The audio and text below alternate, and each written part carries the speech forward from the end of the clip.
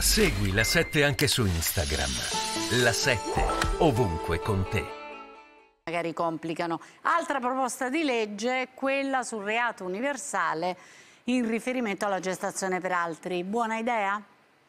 Guardi, io ho presentato una proposta di legge eh, uguale nella scorsa legislatura, ragione per cui sono orientata naturalmente a votare a favore della, della proposta di legge di Fratelli d'Italia.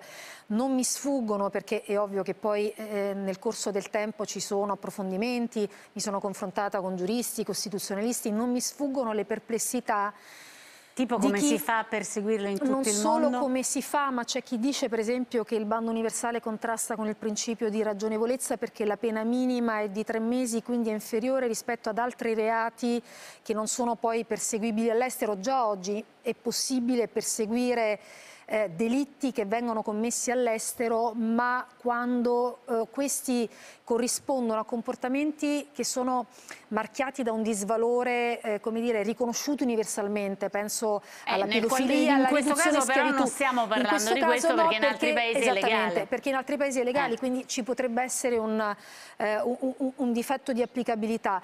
Eh, mi riservo di fare ulteriori approfondimenti, però eh, sono orientata a votare a favore di questa proposta di legge.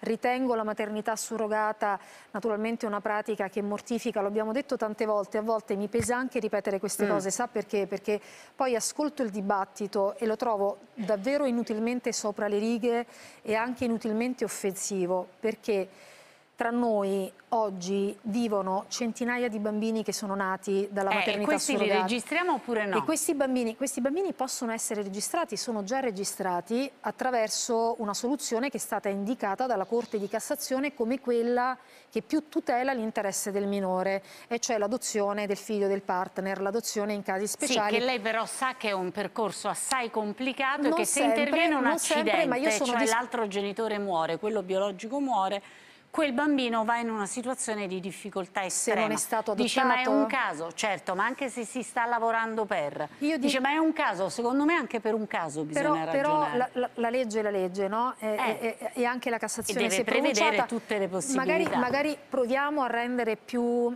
eh, più facile, più veloce il processo di adottabilità, però mi sembra saggia onestamente l'indicazione della Corte di Cassazione perché in questi casi è giusto prevedere che ci sia eh, un supplemento anche di, di, di, di valutazione, di monitoraggio no? Sul, sulle condizioni, sul contesto in cui il bambino va in cui il bambino va allora, a crescere. Allora, un attimo perché però, voglio però, sentire che, che, ci sia un linguaggio rispettoso, no, perché questi bambini sono tra noi di noi tutti i giorni ce l'auguriamo e spesso non l'abbiamo sentito o, questo o linguaggio. Addirittura, addirittura criminalizzarli sarebbe un errore. Eh, Claudio, questo è un